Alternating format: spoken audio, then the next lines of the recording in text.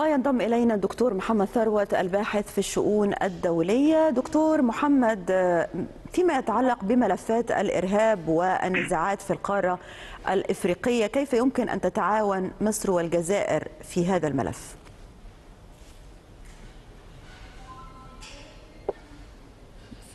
دكتور محمد هل تسمعني؟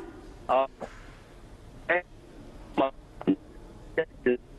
الصوت غير واضح سامعني كده حضرتك مصر آه. والجزائر تمام. علاقتهم تمتد لأكثر من 70 سنة آه، مصر ساندت الثورة الجزائرية آه، الرئيس تبون نفسه شكر مصر بمناسبة 70 عاما على اندلاع ثورة الجزائر العظيمة اللي مصر أيدتها ووقفت من جنبها وكان أثر ذلك العدوان الثلاثي 56 على مصر بسبب وقوفها مصر آه، إلى جانب ثورة الجزائر العظيمة. آه، آه، دي اولا. ثانيا آه، زي ما الرئيس تبون قال إن الجزائر أقرب جغرافيا لمصر علاقاتنا استراتيجية. فهم يعني أكثر اتفاقا في القضايا الإفريقية. لو قلنا الملفين الشائكين مثلا الملف الليبي والملف السوداني.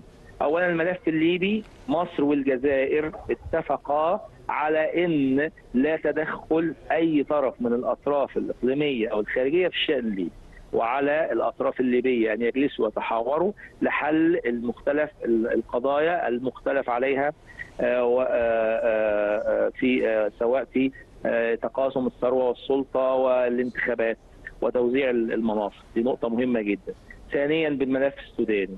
برضو اتفق على ألا تدخل أي طرف من الأطراف في الشأن الداخلي السوداني والنزاع السوداني الذي يمتد يخشى امتداد آثاره إلى دول المنطقة إن آه، آه، ألا يتدخل في أي طرف من الأطراف وإن السودانيين يجلسوا على مائدة المفاوضات. فدول نقطتين مهمين جدا جدا.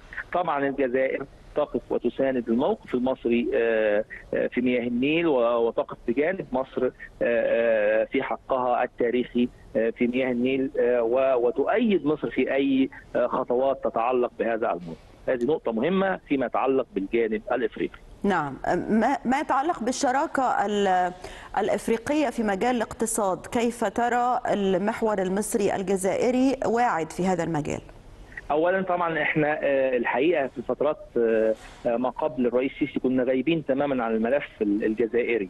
رغم إن الجزائر من أغنى الدول في البترول وعندها اقتصاد واعد وفي السياحة وكتير جدا من لما قابلت آخرهم وزير السياحة الجزائري وكان أكبر جناح جزائري منعقد هنا في آه، لما كان معمول آه، آه، مقر التجارة الإفريقية في القاهرة كان أكبر جناح الجزائر. كلهم عايزين يدخلوا السوق ال- المصرية أو إحنا نروح هناك. فانعقاد اللجنة العليا المشتركة المصرية الجزائرية 2025 إن شاء الله خلاص هي قربت. بتأكيد الرئيسين سيكون دافع لانطلاقة استثمارية واعده مصر والجزائر. ثانيا إن تعهد الجزائر بتذليل العقبات أمام المستثمرين المصريين. معروف إن مصر فيها استثمارات جزائرية. نعم. فالرئيس تبون أما قال حكومتي هتتعهد أنها تذلل أي حاجة تشريعية، أي عقبات آه، في ال- في القوانين هي- هيجذب طبعا إن مصر تفتح مزيد من الاستثمارات داخل الجزائر، الجزائر دولة واعدة، آه، آه، آه، محتاجين في مجال السياحة إن إحنا نعمل لهم نوع لأن مصر دولة آه، كبيرة في هذا المجال والضيافة والإدارة الفندقية وهم لسه في المجال ده حديث العهد. فإحنا إن شاء الله آه، على آه، في مجال المقاولات في كتير جدا من آه، من المجالات.